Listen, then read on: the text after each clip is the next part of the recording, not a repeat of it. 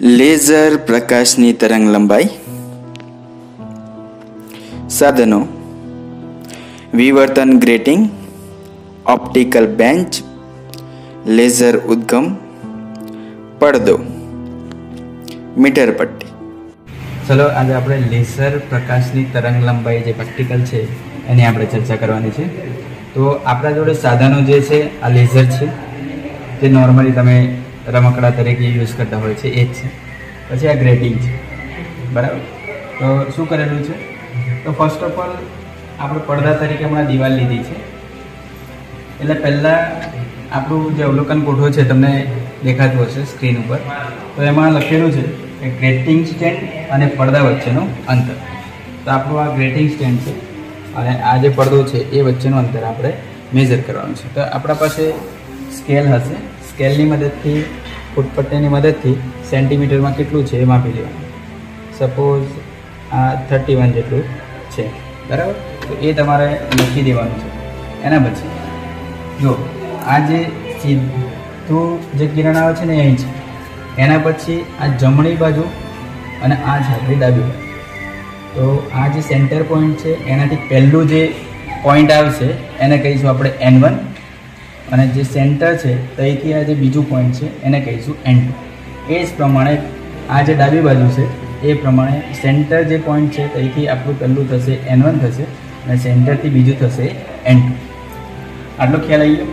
હવે શું કરવાનું છે? તો તમને ઓબ્ઝર્વેશન ટેબલમાં આપેલું છે કે પ્રથમ n is equal to one બરાબર. ડાબી બાજુએ એક્સેલ સેન્ટીમીટર તો જે ડાબી બાજુએ એન બરાબર વન છે તો આ આપણે મેઝર કરવાનું સ્કેલની મદદથી કે બંને વચ્ચેનું ડિસ્ટન્સ કેટલું છે? તો આ કેટલું આવે છે? બાર પોઈન્ટ પાંચ જેવું કંઈક આવે છે. બરાબર? એ તમારે ઓબ્ઝર્વેશન ટેબલમાં લખી દેવાનું. ડાબી બાજુનું જે છે એન વન ક્યાં પછી શું કરવાનું છે? ડાબી બાજુનું જે એન ટુ છે, એ આપણે આ જે પોઈન્ટ છે, એ પોઈન્ટથી આ જે સેન્ટરવાળો પોઈન્ટ છે કેટલું આવે છે? થર્ટી એટ જેવું આવે ને થોડું સ્ટ્રેટ રાખવાનું. અને જેથી કરીને વ્યવસ્થિત આપણું રીડિંગ આવે. તો થર્ટી નાઇન જેવું કંઈક આવે છે. તો આપણું થશે ડાબી બાજુનું એન એ જ પ્રમાણે આપણે એન વન જમણી બાજુનું મેળવવું છે. તો એના માટે શું કરીશું? જે સેન્ટરવાળું પોઈન્ટ છે ત્યાંથી પહેલું જે પોઈન્ટ છે, એને જમણી બાજુનું એન વન કહેવાશે. તો તેર પોઈન્ટ પાંચ જેવું કંઈક આવે છે. એ આપણે લખી દેવાનું. અને એ જ પ્રમાણે આપણે શું કરવાનું છે? એન ટુ જમણી બાજુનું મેઝર કરવું છે. એ આપણો જે સેન્ટરવાળો જે પોઈન્ટ છે ત્યાંથી જે બીજું પોઈન્ટ મળશે. તો આ થર્ટી એટની આજુબાજુ આવશે. તો એ તમારે ઓબ્ઝર્વેશન ટેબલમાં લખી દેવાનું છે. પછીની જે ગણતરી છે, એ હું તમને સમજાવું. હવે કેલ્ક્યુલેશનની ચર્ચા કરીએ. કે કઈ રીતે ગણતરી કરવાની છે ઓબ્ઝર્વેશન ટેબલમાં કઈ રીતે લખવાનું છે.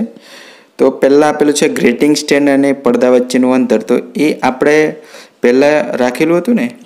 સેમ પ્રોસેસ બીજા માટે પણ આપણે અહીં રિપીટ કરવાની છે. આ જગ્યાએ. ધારો કે પહેલાં અહીં દસ સેન્ટીમીટર રાખ્યું હોય, તો પછી પંદર કે એવું અહીં આ જગ્યાએ રાખી અને આપણે પછી સેમ પ્રોસેસ રિપીટ કરવાની છે એટલે આટલા રીડિંગ આપણને મળી જશે. હવે એના પછી નેક્સ્ટ કોલમ છે મધ્ય ક્રમના ટપકાથી એન ક્રમના ટપકાનો સરેરાશ અંતર એટલે શું કરવાનું છે? તો x l plus x r by two આપેલું છે ને? એટલે અહીં એક્સેલ છે, દેખો. અહીં એક્સઆર છે. એટલે અહીં કંઈક બે વેલ્યુ મળી હશે. બંનેનો સરવાળો કરવાનો ભાગ્યા બે, એટલે આ જગ્યાએ તમને મળશે.